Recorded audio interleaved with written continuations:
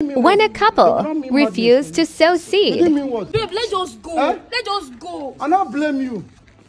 I not blame you. No wonder woman collect your mandate for marriage. Jesus. Your wife is looking like the husband. I been a man, married man. So that man go to kill you now.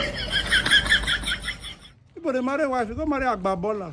Every day, every day, that's so so trouble for us to Every day.